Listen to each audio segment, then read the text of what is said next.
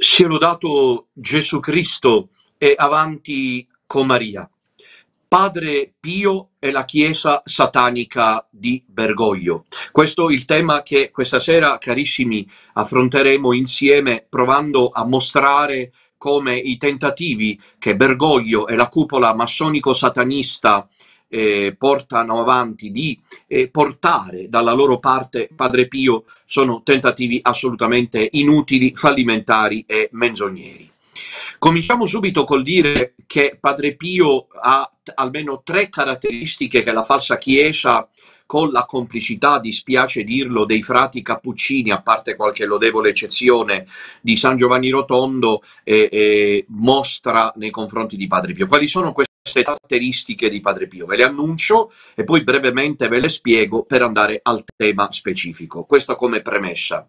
La prima caratteristica, quella di un Padre Pio eh, indiscriminatamente obbediente, quasi un Padre Pio suddito, un Padre Pio privo di libertà di coscienza, un Padre Pio che eh, eh, non sa più cosa è bene e cosa è male, ma obbedisce e basta. Questa è la prima cosa che volevo dire. La seconda cosa che volevo dire è quella di un Padre Pio addirittura entusiasta del Concilio Vaticano II e la terza cosa che vorrei dire è quella di un Padre Pio ignaro del tutto della situazione che stiamo vivendo ai nostri giorni. Tutte e tre le cose che abbiamo dette sono mendaci, sono false e ve lo dimostro brevemente per poi andare al tema di questa sera che è del resto è introdotto da queste tre premesse. La prima premessa, l'idea di un Padre Pio che debba essere obbediente sempre in tutto è una idea del tutto falsa sotto due punti di vista.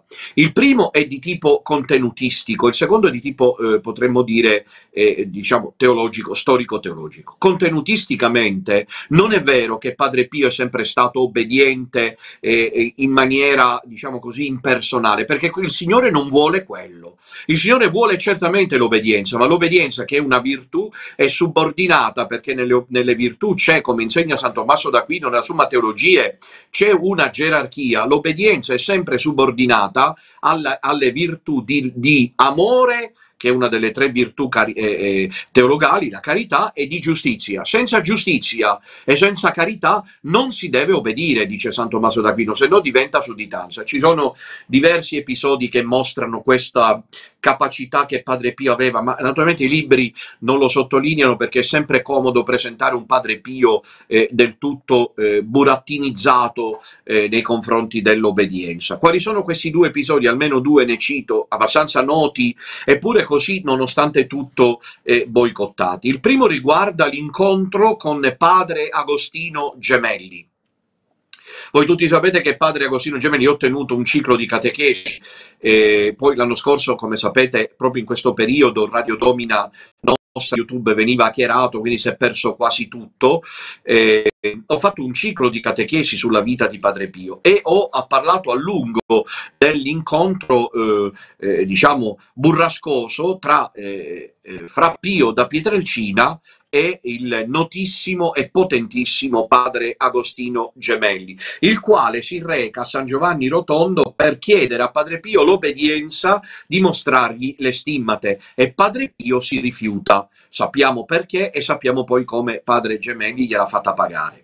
Il secondo episodio che vorrei citare è quello della seconda visita apostolica di Monsignor Maccari o Maccari, non ho mai capito come si pronunci, inviato lì da Giovanni XXIII, quando ormai Padre Pio comunque era avanti negli anni, per sospetti di relazioni illegittime con le sue figlie spirituali.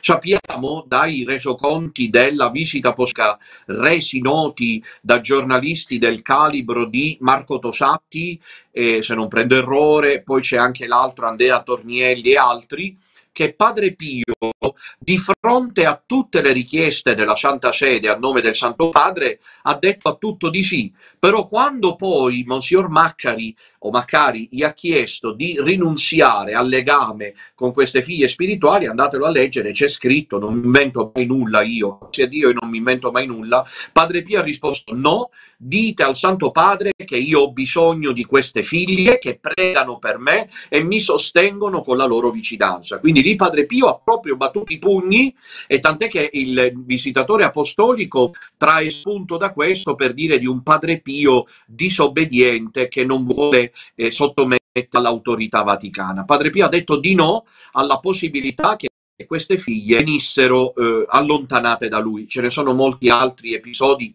ma questi due possono bastare a dimostrare che Padre Pio era niente affatto un uomo privo di coscienza, quasi come se un po' in maniera ignorante così eh, contadina, visto che proveniva dall'entroterra campano, Padre Pio avesse deciso di rinunciare alla propria coscienza. Alla propria coscienza non si rinuncia mai, mai.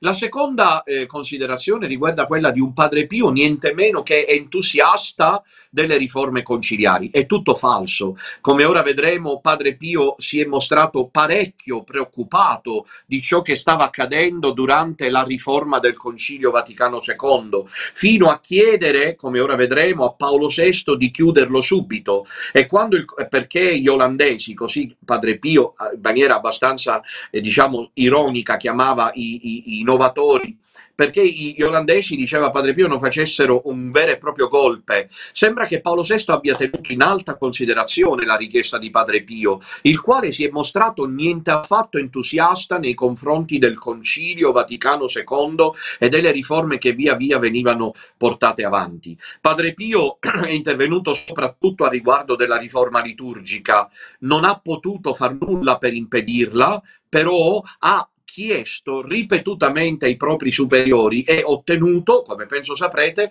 di poter continuare a celebrare la Santa Messa tradizionale con qualche concessione come quella del coram populo, cioè quella di rivolgersi al popolo anziché ormai al corandeo, e, e, e, qualche altra concessione che adesso non vi spiego. Però Padre Pio ha ottenuto di poter continuare a celebrare la messa col messale eh, di eh, Giovanni XXIII riformato nel 62 eh, e quindi non quello della messa in italiano del Concilio Vaticano II e soprattutto di celebrarla in latino. Un Padre Pio del tutto preoccupato e assolutamente in eh, grande angustia interiore di fronte alle riforme del Concilio.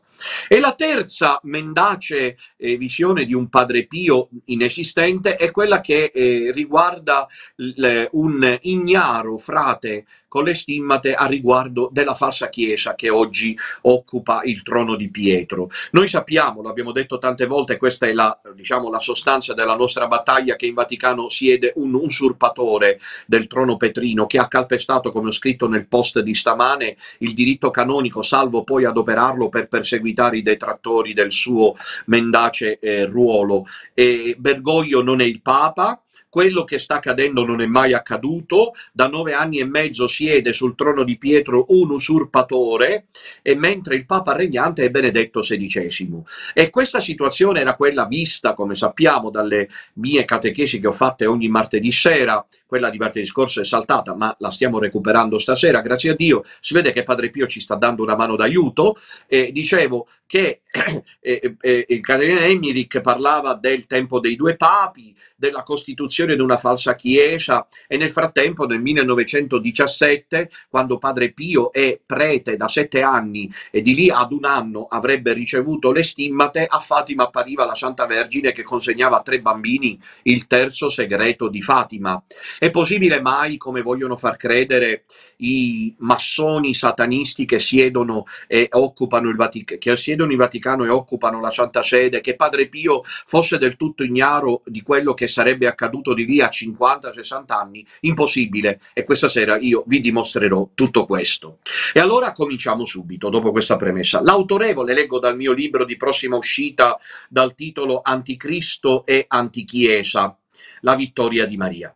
L'autorevole testata cattolica online americana One Peter 5, eh, ne, eh, voi sapete che, penso saprete che negli Stati Uniti d'America c'è un cattolicesimo militante molto forte che qui in, diciamo in casa nostra è poco noto a dire il vero, ma che invece porta avanti delle battaglie notevoli. C'è una mh, linea interpretativa, ma non ho il tempo adesso di, di, approfondirla, che parla di errore sostanziale di Benedetto XVI, cioè non intenzionale e quindi che comunque lascerebbe eh, eh aperta l'ipotesi concreta che Benedetto XVI sia ancora il Papa. C'è un cattolicesimo conservatore tradizionalista molto forte negli Stati Uniti d'America che gestisce non pochi siti eh, eh, sui social. Ecco, questa autorevole testata cattolica online americana, One Peter 5, negli anni scorsi ha rilanciato un'intervista concessa nel 2011 da padre Gabriele Amort, non c'è bisogno che ve lo presenti, tutti noi sappiamo che eh, si tratta del noto eh, eh padre Paolino esorcista scomparso nel settembre 2016, al giornalista spagnolo José María Zavala, a noi già noto eh, per la faccenda del terzo segreto di Fatima, e un'intervista che però padre Amort ha concessa chiedendo però che venisse divulgata solamente dopo la morte dello stesso famoso esorcista. Padre Amort ha frequentato Padre Pio, per chi non lo sapesse, io l'ho saputo direttamente da lui, mi ha raccontato diversi aneddoti Padre Amort dei suoi colloqui con Padre Pio. Padre Pio volentieri lo riceveva e lo teneva con sé e Padre Amort ha frequentato Padre Pio per 26 anni, non è poco, non è un giorno, sono tanti anni. Padre Amort, eh, dopo aver ricordato che la consacrazione, in questa intervista che vi sto eh, commentando e che vi rivelerà cose sorprendenti, dopo aver ricordato che la consacrazione del mondo al cuore immacolato di Maria con quella formula escogitata in extremis fatta da Giovanni Paolo II il 25 marzo 1984 non era valida, anche perché avallata da una falsa lettera di Sor Lucia, Ecco, dopo aver tutto, ricordato tutto questo, viene pressato dal giornalista spagnolo Zavala eh, sul tema del terzo segreto di Fatima, ottenendo infine un inaspettato scoop. Il giornalista spagnolo domanda, adesso io riporto in traduzione italiana, eh, eh, diciamo, diciamo, l'intervista nei suoi passaggi decisivi. Padre, eh, eh, Zavala domanda a padre Amort, mi perdoni se insisto sul terzo segreto di Fatima. Padre Pio allora lo riferiva alla perdita di fede all'interno della Chiesa, siamo nel 2011, e già in maniera clamorosa ci si era resi conto che non era vero che il segreto riguardasse l'attacco dei sistemi atei comunisti sovietici, ma riguardava piuttosto, come Benedetto XVI poi ha detto nel 2010, l'apostasia della fede. Padre Gabriele risponde, effettivamente, un giorno Padre Pio, e qui c'è la, il passaggio decisivo che dà senso alla nostra catechesi, perché ripeto, i nostri nemici hanno da cantare giorno e notte, ma noi non ci inventiamo nulla. Risposta di Padre Pio. Padre Pio eh, un giorno mi ha detto molto dolorosamente, lo sai, Gabriele? Satana si è introdotto nel seno della Chiesa e in poco tempo verrà a governare una falsa Chiesa. È una frase sorprendente che appunto questa falsa Chiesa che si è installata in Vaticano, portando Padre Pio in Vaticano, ammesso che ci sia Padre Pio dentro quell'urna, con un Bergoglio che fa il segno di croce con la mano sinistra, che lo manipola, che lo strumentalizza, in realtà, figlioli cari, è, siamo in presenza di un'affermazione sorprendente, clamorosa, fatta dal più grande, se siete d'accordo, testimone eh, cattolico del Novecento. Padre Pio dice, lo sai Gabriele? E questa è una confessione che Padre Pio fa un po' come quando Gesù si confidava con l'Apostolo Giovanni, lo leggiamo anche nel Vangelo di Giovanni al capitolo 13, quando Pietro dice a Giovanni domanda chi è il traditore. Gesù si confida con, Ges- con Giovanni, perché sempre abbiamo bisogno di qualcuno con cui confidarci. Si vede che Padre Pio portava dentro questa rivelazione privata che il Signore gli aveva fatta e meno male che l'ha rivelata a Padre Amort e che Padre Amort abbia deciso poi di renderla nota. La rileggo perché è sorprendente presente, è attuale, è letterale, non c'è da commentare, non c'è da interpretare, non c'è da, da, da, come dire, sezionarla questa frase, è lì. E chi la vuole vedere la vede, e chi non la vuole vedere si arrangi. Lo sai, Gabriele, Padre Pio, perché no, lo dico perché questi degli Unacum a noi ci, ci criticano dicendo dovete prendere esempio da Padre Pio che obbediva, ma si obbedisce al Papa, non al falso Papa. Si obbedisce a Dio, non a Satana. Lo sai, Gabriele? È Satana che si è introdotto nel seno della Chiesa. E veramente questa ogni sillaba suona come un colpo di martello. Ma l'altra frase, la subordinata, è ancora più sconvolgente. E in poco tempo. Siamo nel 1960. Ora, Voglio dire, sempre noi usiamo la logica, visto che comunque chi appartiene a Satana, dovete sapere che è sempre un po' illogico. Guardate, volete, eh, volete eh, svelare i camuffamenti di chi appartiene al diavolo? Non usano la logica, non usano la logica, perché la logica è dono di Dio. Ora, Padre Pio dice, in poco tempo Satana verrà a governare una falsa chiesa, c'è tutto. Anzitutto in poco tempo. Quanto può essere poco tempo? 300 anni può essere poco tempo secondo la vista umana, perché Padre Pio è un uomo, non è Dio.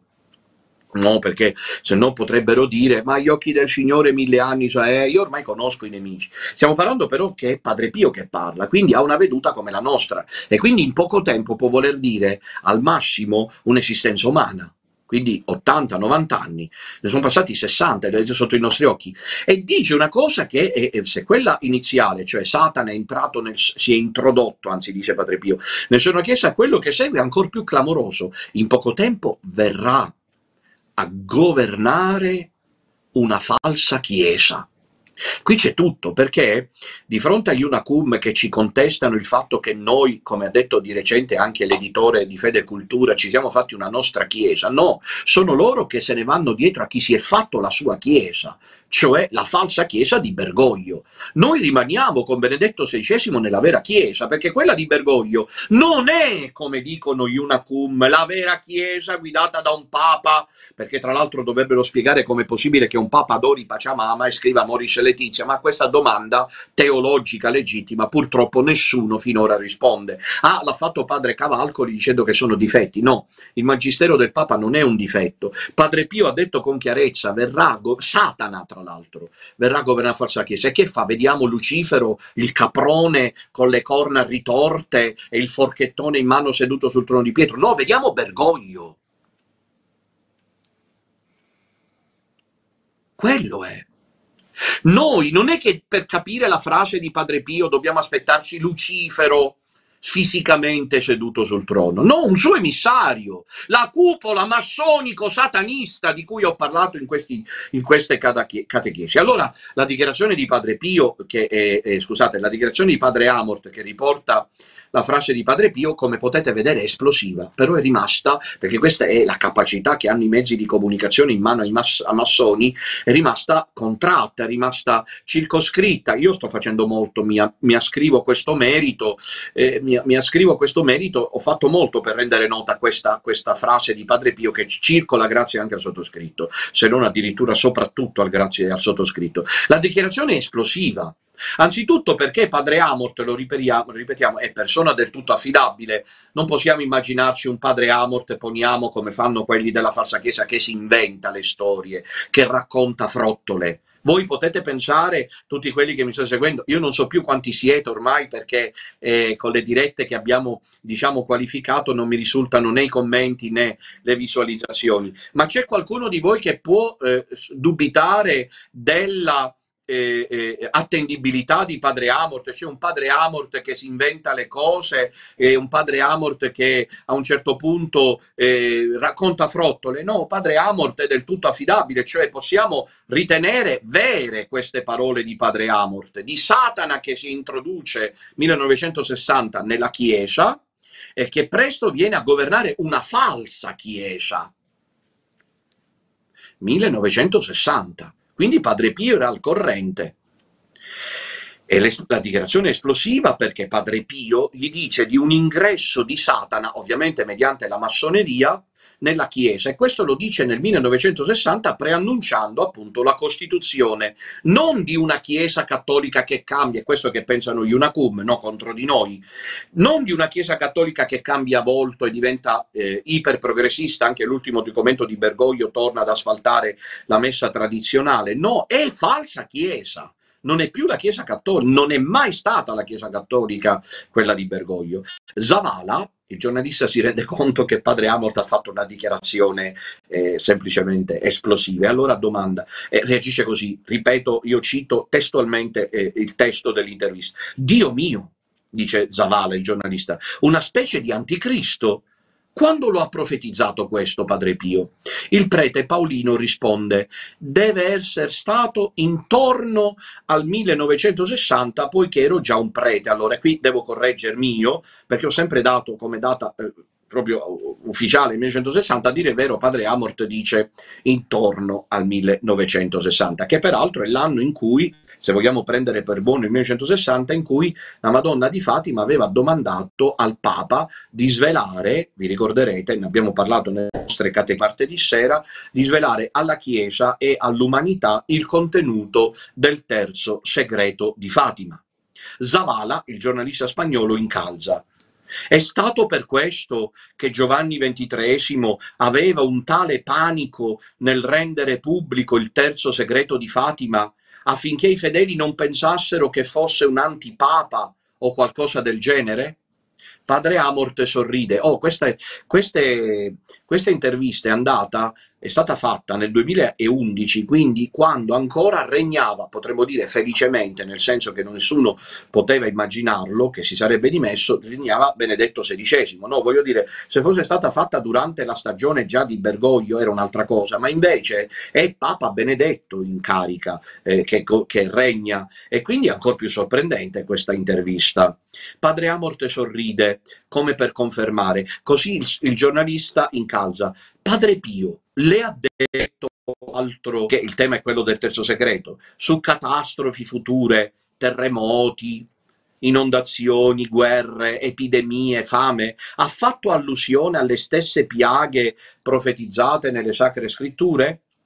Naturalmente era evidente l'intento, i giornalisti sono tremendi, eh, di venire a conoscenza di ulteriori dettagli magari inconfessabili intorno al terzo segreto, soprattutto se portavano con sé, come spesso si, de- si desidera sentire, la conferma di aspettative catastrofiste, cioè questo terzo segreto di Fatima che riguarda, e non è da escludere, anche qualcosa di catastrofico a livello globale. Ma padre Amort replica in una maniera incredibile. Ascoltate bene. Nessuna cosa del genere interessava padre Pio per quanto terrificanti si dimostrassero. Cioè emerge un padre Amort consapevole di, di più di quanto immaginiamo di ciò che padre Pio sapeva a riguardo del terzo segreto, no? Ma dice padre Amort a padre Pio questa faccenda delle catastrofi possibili relative al terzo segreto di Fatima interessavano poco. Ciò che lo affliggeva di più era la grande apostasia all'interno della Chiesa. Allora il cerchio quadra, come si dice, no? Cioè eh, i conti tornano aggiunge padre Amort, questa è stata la questione che lo ha veramente tormentato. Io non ho dubbi che da quando padre Pio, presumo negli anni 50, il cielo gli abbia rivelato, questo è quello che io personalmente penso, non c'è scritto da nessuna parte, che cosa era il terzo segreto di Fatima e quindi l'apostasia, un falso papa, lo dice Padre Pio, non mi invento nulla, un falso papa con una falsa chiesa e l'anticristo, Padre Pio abbia sofferto alla fine più per tutto questo che non per, per quello che lui personalmente pagava. Questa è stata, dice padre Amort, la questione che lo ha veramente tormentato e per cui ha pregato e ha offerto gran parte della sua sofferenza crocifisso per amore. Io non escludo, ve lo anticipo perché lo, lo dirò più avanti, però sento bisogno di dirvelo subito. Ho scritto nel mio libro che secondo me padre Pio si è offerto come vittima d'amore a questo punto. L'aveva fatto da giovane prete per i peccatori. Credo che lo abbia rinnovata questa consacrazione proprio per la Chiesa nel tempo della grande apostasia.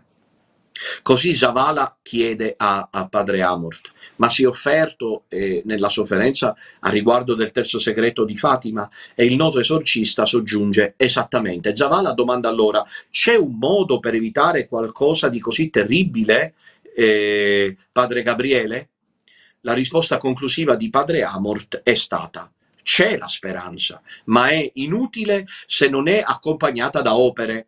Cominciamo consacrando, siamo nel 2011, la Russia al cuore immacolato di Maria. Quindi padre Amort è testimonial credibile, assolutamente attendibile, che la, la consacrazione, quella dell'84, non era eh, come il cielo l'aveva chiesta. Padre Amort, non so se lo sapete, io lo so per, di persona, perché me lo ha rivelato, seguivo un paio di anime mistiche, ma non come quelle che circolano oggi volanti a destra e a manca, mistiche critiche serie che dicevano tutte, me lo ha rivelato, che appunto il cielo non aveva accolto quella consacrazione dell'84. Recitiamo il rosario, dice ancora Padre Pio, e Padre Amorte conclude, preghiamo e facciamo tutti penitenza.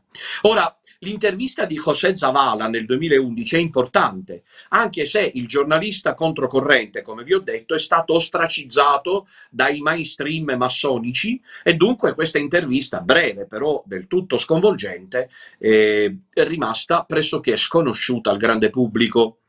In ogni caso, la conversazione resa nota rivela una profezia di Padre Pio del tutto attendibile e conferma che il segreto di Fatima riguarda esattamente questo, il dilagare dell'apostasia nella Chiesa e infine la costituzione di un falso Papa e di una falsa Chiesa come preludio dell'Anticristo.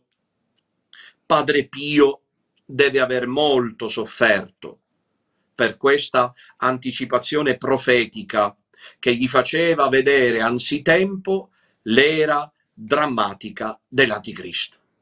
Ora, noi sappiamo che il santo frate che per 50 anni ha portato sul proprio corpo le stimmate di Gesù e che ha attirato intorno a sé milioni di fedeli cattolici in tutto il mondo, si andava spegnendo e si andava consumando proprio mentre la Chiesa cattolica era attraversata dall'entusiasmo del Concilio Vaticano II. Notate, è eh, inversamente proporzionale all'entusiasmo della Chiesa cattolica per le riforme del Concilio Vaticano II corrispondeva il declino fisico e spirituale di un vecchio Padre Pio. Un entusiasmo, quello del concilio, che nelle parole del pontefice Paolo VI si tradurrà presto in disincanto, se non persino in lamento. È sua la famosa frase che non va dimenticata, dico di Paolo VI, da qualche parte, eh, da qualche fessura, il fumo di Satana è entrato nel tempio. Tutto torna, come vedete. Poi chi non vuol vedere, non veda. Peggio per loro. Celebre è quanto il Papa ha detto nel 1968, proprio l'anno in cui moriva Padre Pio, aspettavamo la primavera, si riferisce all'entusiasmo Cirio, ed è venuta la tempesta. Sono parole letterali di Paolo VI. Noi allora non possiamo dubitare, alla luce delle cose che stiamo dicendo, che il santo frate Cappuccino, visitato da molti doni carismatici, abbia potuto in anticipo conoscere il depistaggio massonico satanista che prima con il concilio, poi con la sua applicazione contestatrice innovativa, infine con l'infiltrazione costante nelle pantofole del Papa, per usare un'espressione colorita dello stesso santo, avrebbe introdotto nella Chiesa la confusione dottrinale, il caos pastorale, infine l'apostasia della fede e la venuta dell'Anticristo. Padre Amort, nell'intervista che vi ho citata, suggerisce proprio l'idea che le sofferenze maggiori di Padre Pio furono per la Chiesa cattolica, che si avviava in questo eh, declino eh, eh, forzato e che prendeva questo corso preannunciato da Fatima. Egli si è sicuramente, eccolo qui, lo dico perché ne sono certo, Padre Pio si è sicuramente offerto ripetutamente a Dio per la Chiesa e per il Papa e avrà avuto modo di conoscere in, in anticipo come gli stesso dice al giovane eh, padre esorcista Amort, la tattica satanica di conquista del trono petrino. Lo sai, Gabriele? È quasi una confidenza padre Pio che fa a padre Gabriele perché non riesce più a tenerla per se stesso. Satana si è introdotto nel seno della Chiesa e presto verrà a governare una falsa Chiesa. Ci sono però almeno altri due indizi che confermano questa consapevolezza di Padre Pio. Basterebbe da solo a dire il vero, no? Cioè questa eh, dichiarazione esplosiva di Padre Amort eh, del tutto attendibile basta da sola a, a dire che Padre Pio eh, conosceva lo sviluppo di questa chiesa satanica che oggi con Bergoglio sta eh, occupando il trono di Pietro. Ma ce ne sono altri e io ne ho individuati almeno due eh, potremmo citarli tutti, ma allora andremo oltre l'orario previsto. Il primo indizio è anch'esso del tutto singolare.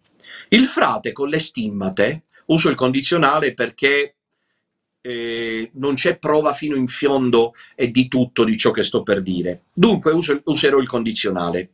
Il frate con le stimmate avrebbe dato incarico a un sacerdote molto noto oggi, Don Luigi Villa, Don Luigi Villa, con una vera e propria consegna missionaria di fronteggiare l'infiltrazione massonica nella Chiesa. Questa è una storia poco nota, ma del tutto singolare. Le testimonianze sparse raccontano che nel 1956 Don Luigi Villa poté incontrare Padre Pio, parlandogli per circa una mezz'ora, un tempo insolito, eh? perché Padre Pio dedicava a tutti sempre pochi minuti, anche a quelle figure, eh, diciamo, di un certo spessore. Padre Pio, che non stava bene, non aveva tempo di stare a lungo, anche coi penitenti, era rapidissimo Padre Pio, no? Raramente si intratteneva. Con, padre, con Don Luigi Villa, e dall'attestazione dei presenti, che erano lì, eh, Padre Pio si si intrattiene mezz'ora, è un tempo immenso per Padre Pio.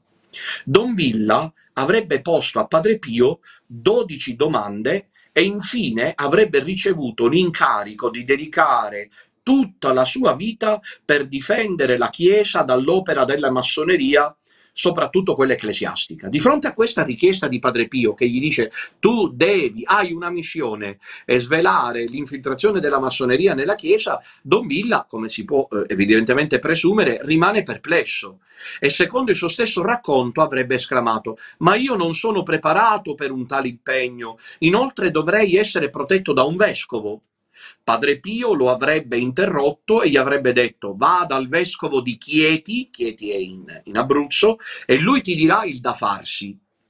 E a questo punto scrivo nel mio libro la trama diventa intrigante perché Don Luigi Villa effettivamente, qui non c'è più bisogno del condizionale perché abbiamo prova che conferma che allora è, è, è tutto vero, si reca da Monsignor Giambattista Bosio, arcivescovo di Chieti. Il vescovo gli chiede perché sei qui? Don Luigi risponde perché padre Pio mi ha detto di venire da lei e gli chiarisce i motivi. Alla fine Monsignor Bosio gli dice questo è impossibile perché un vescovo ha autorità solo nella sua diocesi e il tuo programma è ben più ampio. Padre Pio aveva proprio eh, arruolato per difendere la Chiesa dalla massoneria. Comunque, poiché questo te lo ha detto Padre Pio, che io non ho mai visto né conosciuto, io, dice il vescovo, andrò a Roma per una chiarificazione. Che, che storia intrigante, eh? Naturalmente i media cattolici queste cose non le racconteranno mai perché sono in mano alla massoneria. Effettivamente, Monsignor Bosio, Giovan Battista Bosio, vescovo di Chieti, si reca in Vaticano e, e, e, ha un'udienza presso il pro-segretario di Stato Vaticano, cardinale Domenico Tardini, che era eh, diciamo eh, eh, favorevole a Padre Pio, per parlargli dell'incarico che Don Luigi Villa avrebbe, aveva ricevuto da Padre Pio. Il cardinale si dimostra subito contrario, dicendo che un tale compito era riservato ai cardinali, ai vertici della Chiesa e non a un semplice sacerdote. Tuttavia, udito che il progetto partiva da Padre Pio, dice che ne avrebbe parlato al Santo Padre. E così avviene. Monsignor Bosio viene ricevuto in udienza privata da Pio XII, che approva eh, il progetto con decreto del 6 maggio 1957 eh, incardina segretamente Don Luigi Villa nella diocesi di Chieti. Inoltre Don Luigi si iscrive all'Università di Friburgo in Svizzera dove si laurea in teologia nel luglio del 1963, poi all'Università Lateranense di Roma. Per farla breve, in quegli anni Don Villa su richiesta di Padre Pio e con l'approvazione di Papa Pio XII eh, eh, mediante il cardinale Ottaviani eh, avvia, avvia, un dossier, avvia un lavoro segreto che non è per nulla eh, eh, solitario, perché un lavoro analogo lo stava facendo nel frattempo un giornalista che aveva difeso Padre Pio dalle calunnie che i nemici della Chiesa gli procuravano e che l'avevano costretto a rimanersene eh, segregato. Eh, questo giornalista, eh, poco prima di morire, viveva da solo eh, a Roma, in questo momento mi sfugge il suo nome, aveva detto che temeva per la propria vita. Verrà trovato morto a casa propria, non verrà autorizzata l'autopsia, Padre Pio non ne vorrà più parlare, ma è molto probabile perché è scomparso tutto il dossier che lui aveva nel frattempo eh, Ehm, eh, avviato per rivelare che la massoneria era filtrata nella Chiesa. Don Luigi Villa nel frattempo avvia questo dossier di par suo con la specialità di documentare l'appartenenza alla massoneria di, eh, per richiesta di eh, eh Padre Pio di alti prelati della Chiesa Cattolica e di occuparsi di certe questioni delicate, delicate della Chiesa. Lo stesso Don Luigi Villa, che è stato comunque un prete del tutto singolare, bisogna dire la verità, fuori dalle righe, ha dichiarato di essere stato eh, risparmiato più volte da tentativi di omicidio.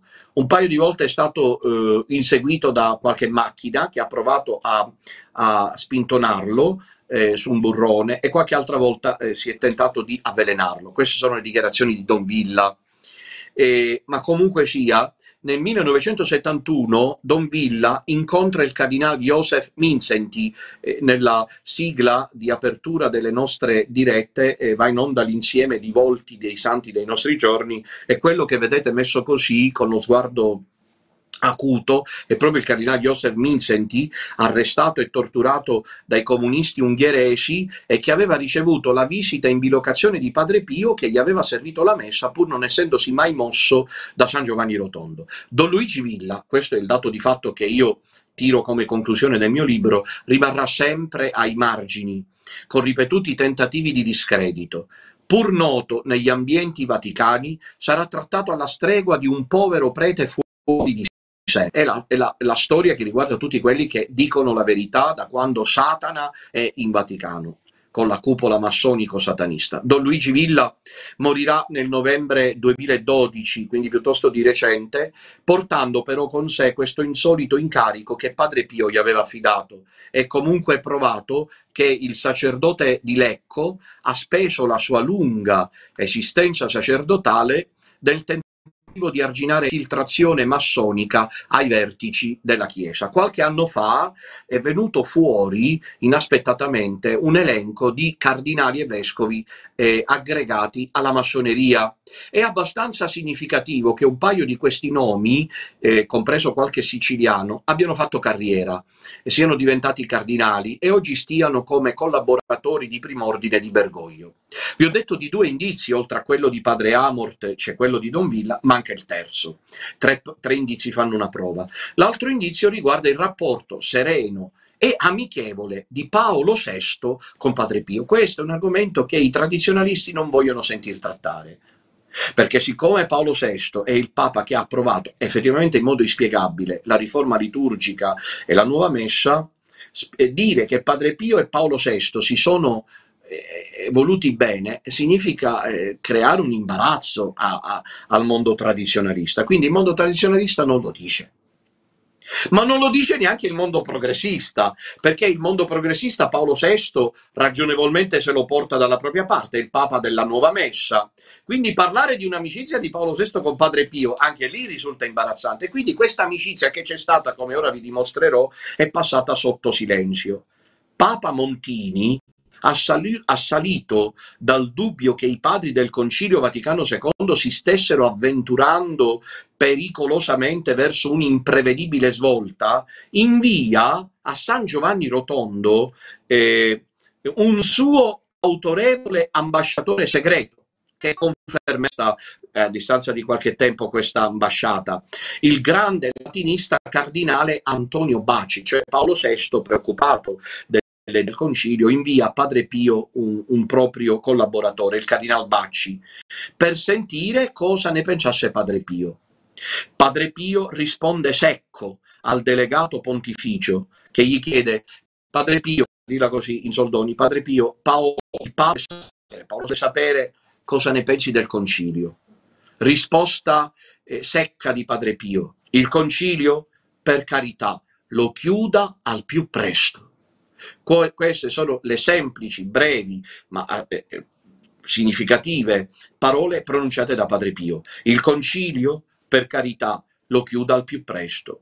L'ultimo, qui da queste cose che vi sto dicendo, che non sono il più delle volte conosciute, emerge un Padre Pio niente affatto santino, messo sotto la nicchia, che obbedisce china il capo a tutti, compresi i massoni ma un Padre Pio che invece, avendo lui le mani legate, ha fatto di tutto attraverso, diciamo, attività eh, eh, parallele e, e poco note per fronteggiare la massoneria di cui lui era a conoscenza.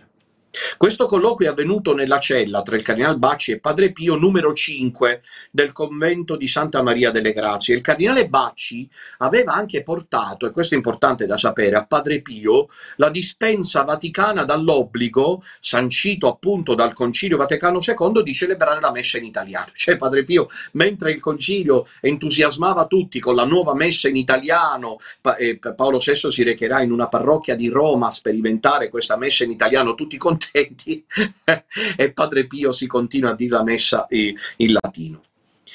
Poteva così continuare a dirla ogni mattina all'alba nel suo latino, come aveva sempre fatto da oltre mezzo secolo. Padre Pio pianse di gratitudine di fronte a questa concessione chiesta a Paolo VI che Paolo VI gli concede. All'incontro del cardinale Baci, perché c'è chi mette in dubbio tutto, con Padre Pio erano presenti alcuni frati che riferirono della commossa reazione del santo frate. Ma a rivelare pubblicamente l'episodio è stato, quindi abbiamo un testimone eh, nominale, padre Carmelo, compagno di studi di Padre Pio, successivamente guardiano del convento di San Giovanni Rotondo. Si può allora ipotizzare che Paolo VI il quale provava ammirazione e forse timore per Padre Pio, comunque gli voleva bene, tant'è che sotto il pontificato di Paolo VI Padre Pio finalmente piglia fiato. Va bene? Con Pio XI e con Giovanni XXIII è stato crocifisso impietosamente Padre Pio, nel peggiore dei modi, starei per dire. Ma con Pio XII prima, dal 1938 al 1958 e poi con Paolo VI dal 1962 a 68 quando Padre Pio morirà, soprattutto sotto il pontificato di Paolo VI, Paolo VI chiederà esplicitamente che Padre Pio venga lasciato tranquillo eh, ed esplichi il suo ministero senza più i, i travagli e le insidie che fino a quel momento aveva dovuto subire. Allora ci chiediamo, si può ipotizzare che Paolo VI avesse deciso di chiudere il concilio su richiesta richiesta dello stesso frate Cappuccino con le stimmate? È una domanda storicamente molto, molto come dire, sensata, perché fino a prima dell'ambasceria eh, il concilio non pigliava una, una piega conclusiva. Paolo VI invia eh, eh, il cardinale Bacci da Padre Pio, Padre Pio è perentorio il concilio, per carità si chiuda subito il concilio, effettivamente Paolo VI è un dato storico, di lì a poco chiuderà, come sapete nel 65, eh, l'8 dicembre del 65 chiuderà il concilio, l'incontro era stato poco prima.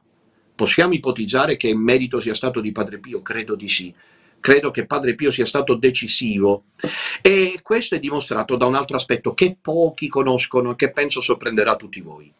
Padre Pio, 11 giorni prima di morire, 11, Padre Pio è morto il 28 settembre, eh, scusate, il 23 settembre del 68, quindi fate il calcolo voi. 11 giorni prima di morire, Padre Pio invia, fa pervenire una lettera a Paolo VI che esprime al meglio la coscienza che Padre Pio aveva della crisi presente e futura della Chiesa Cattolica. Io ve la leggo adesso per intero perché è un documento che ritengo profetico e rivelativo e poco noto. Vi si accenna alla sofferenza del Papa per la crisi della Chiesa, alle critiche all'enciclica Umane Vite, allo spirito di contestazione e di scienza dei preti. Si parla del cuore del Papa che soffre molto. Soprattutto vi si trova a pochi giorni dalla morte, 11 giorni prima di morire, l'offerta, e qui è una conferma di ciò che io penso, l'offerta esplicita che Padre Pio torna a fare di se stesso per aiutare alla Chiesa quando accenna alla mia preghiera e sofferenza quotidiana.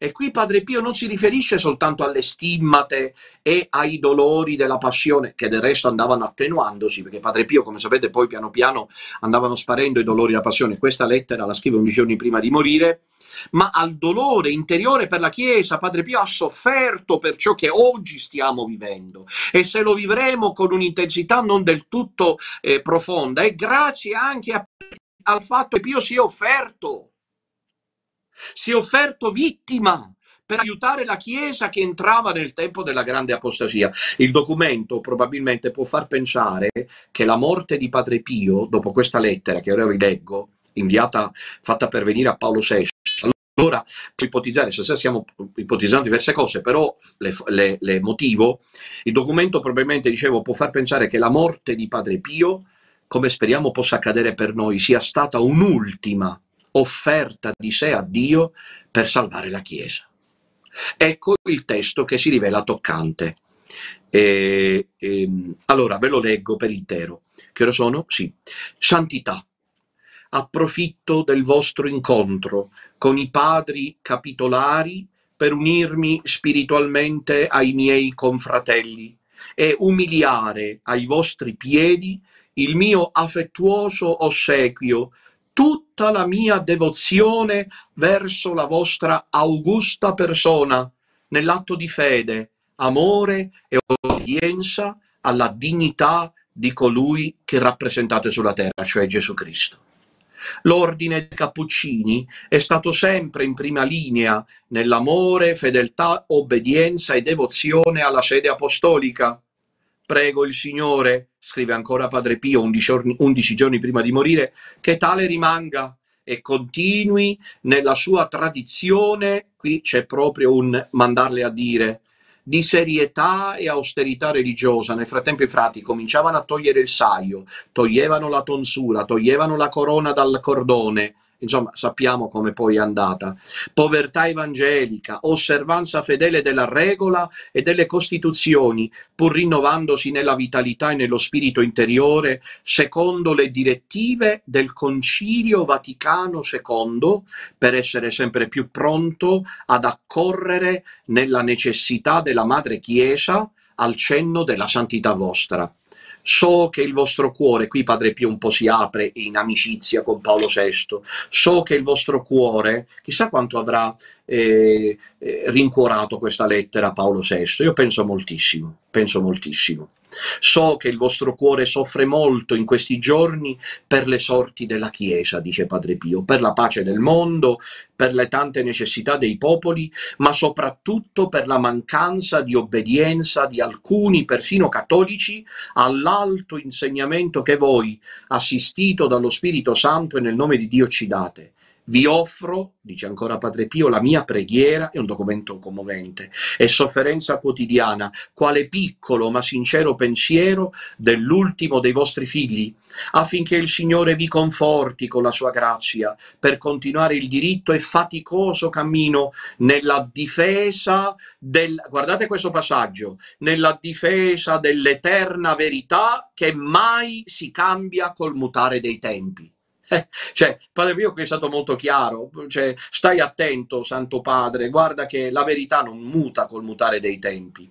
Anche a nome dei miei figli spirituali e dei gruppi di preghiera, vi ringrazio per la parola chiara e decisa che avete detto, specie nell'ultima enciclica Umane Vite, e riaffermo la mia fede, la mia incondizionata obbedienza alle vostre illuminate direttive voglia il Signore concedere il trionfo alla verità, la pace alla sua Chiesa, la tranquillità ai popoli della terra, salute e prosperità alla santità vostra, affinché dissipate queste nubi passeggere, il regno di Dio trionfi in tutti i cuori, mercé la vostra opera apostolica di supremo pastore di tutta la cristianità. Conclusione di questo documento bellissimo, prostrato ai vostri piedi, scrive Padre Pio, vi prego di benedirmi insieme ai confratelli, ai miei figli spirituali, ai gruppi di preghiera, ai miei ammalati, a tutte le iniziative di bene che nel nome di Gesù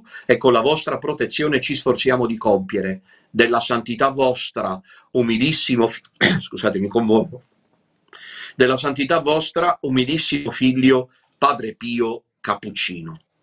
Padre Pio morirà undici giorni dopo. Credo che questa lettera non sia soltanto, eh, se sbaglio Padre Pio voglia correggermi, io che lo sento sempre molto vicino nel mio ministero così sofferto, credo, dicevo, che questo non sia solo un documento storico, è un documento, vorrei dirvi, spirituale, cioè intendo dire che con questo documento Padre Pio ha reso noto che si offriva come vittima per la Chiesa, eh, che rinnovava la propria obbedienza al vero Papa, perché al vero Papa si dà obbedienza vera e incondizionata, e parla però di uno spirito di verità che non muta col mutare dei tempi, e parla di nubi che definisce passeggere. Padre Pio muore undici giorni dopo, stroncato dal dolore, dice padre Amort, per come la Chiesa si stava eh, muovendo. 23 settembre 1968, lo ricordiamo tutti, finita la messa mattutina del 22 settembre, eh, padre eh, non ha più le stimmate, quando toglie i guanti tutti possono vedere che le sue mani sono tornate bianche come quelle della pelle di un bambino, non ci sono più i segni della passione sconvolgente. E così un vecchio Padre Pio, sempre più piccolo, curvo, che celebra la messa nella sedia a rotelle e che sta per crollare, tra l'altro, si vede la scena di Padre Pio che mentre si muove lo devono sorreggere, a, a stento e a malapena celebra la messa in latino, eh, coram populo, e quindi ritorna nella propria cella del tutto sfiancato. E nella notte tra il 22 e il 23 settembre pronuncia il nome Gesù Maria, Gesù Maria, Gesù Maria, eh, muore per asfissia, si dice, non riusciva a respirare, muore seduto in poltrona perché non riesce a stare a letto e, e muore certamente come ostia fragrante, il cui profumo di grazia, di santità e di verità per quello che stiamo vivendo a riguardo della Chiesa satanica di Bergoglio non smette di raggiungerci la contestazione sociale, con la rivoluzione sessantottina e soprattutto la rivoluzione liturgica che ha portato al cambiamento della messa come sacrificio di Cristo per trasformarla in convito fraterno come voleva Lutero, segni incontrastati della manomissione massonico-satanista e anticristica segnavano il battesimo della Chiesa satanica eh, di Bergoglio. Padre Pio, che celebrerà, lo ribadisco, la messa in latino fino alla morte e se ne andrà, portando con sé la consapevolezza che la sua morte segnava però anche l'avvio della stagione della falsa chiesa e della cupola massonico-satanista che avrebbe preso il trono, occupato il trono di Pietro. L'affermazione di padre Amort, secondo cui Padre Pio dopo il 1960 avrebbe sofferto per la Chiesa e avrebbe donato la propria vita a Dio per salvarla dalla crisi e dall'imminente attacco di Satana, trova diverse conferme. Resta il fatto, e concludo, che questo aspetto, che dovrebbe essere il più rivisitato, a mio avviso, nella vicenda del Santo Frate, visti i tempi che viviamo, è invece il meno noto evidentemente per la capacità magistrale della loggia massonica di tenerlo soffocato, come già per il terzo segreto di Fatima e per tutte le rivelazioni profetiche che annunciavano chiaramente l'apostasia della fede e la venuta dell'anticristo con la costituzione di un'antichiesa. Padre Pio muore nel 1968. Con lui si chiude una stagione e se ne apre un'altra. Lui aveva detto a, a padre Amort, sai Gabriele, è Satana che si è introdotto nella Chiesa e eh, presto, fra non molto, a breve, verrà a governare una falsa chiesa. Padre Pio, cari, visto con ogni chiarezza il tempo che stiamo vivendo. Padre Pio ha certamente conosciuto per rivelazione privata l'esistenza di Jorge Mario Bergoglio come falso papa, pastore idolo a cui si prostrano per paura o per convinta venerazione le moltitudini della terra. Padre Pio ha visto che ci sarebbe stato un piccolo resto cattolico, spesso amava dire negli ultimi anni della sua vita che avrebbe desiderato vivere nel tempo dell'anticristo per mostrare la sua fede a Dio. E noi concludiamo questa nostra, eh, spero, eh, eh, eh, avvincente catechesi che non vi abbia appesantito, anche perché ormai fa caldo e quindi è più difficile tenere le catechesi. vorrei concludere questa catechesi con una provocazione. La mia provocazione è la seguente. È veramente lì Padre Pio, cioè dove ci dicono? Voglio dire, Padre Pio è dentro quell'urna? È una domanda seria, perché un medico che ha assistito alla riesumazione dice che Padre Pio non era lì e non è lì. Io questo non lo so, non voglio fare il complottista né apparire come il solito appunto sospettoso. Posso solo dire che il conto riguardo a Padre Pio è niente affatto chiuso, la falsa Chiesa ha provato a strumentalizzarlo a proprio favore, non c'è riuscita, Padre Pio anzi ha un conto aperto con questa falsa chiesa, si è offerto come vittima per salvarla e così in realtà ha tracciato per tutti noi questa strada. Bene miei cari, vi auguro una notte serena e un riposo tranquillo, domani inizia, inizia il mese di luglio dedicato al preziosissimo sangue. Per intercessione di Padre Pio vi benedica Dio Onnipotente, Padre, Figlio e Spirito Santo. Amen. Sia lodato Gesù Cristo e avanti con Maria.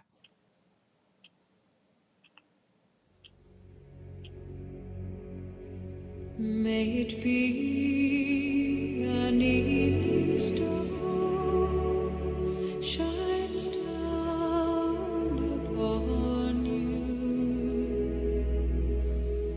May it be